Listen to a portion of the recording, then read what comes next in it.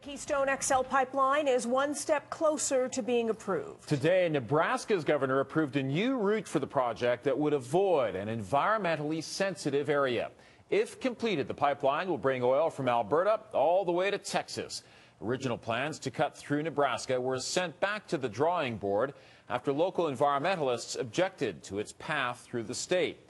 The company proposed an alternate route avoiding the sensitive area, but many still worry about the impact of a leak on the environment. A state regulator insists the new route is safe.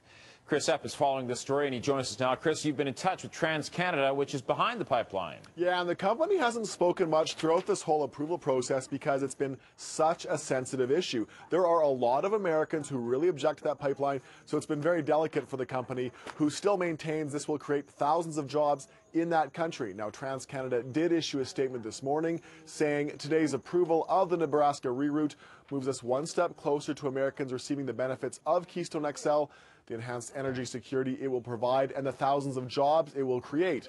Keystone XL is the most studied cross border pipeline ever proposed, and it remains in America's national interests to approve a pipeline that will have a minimal impact on the environment. Now, that pipeline is still a few steps away from being fully approved. The next step is for the State Department to review the idea.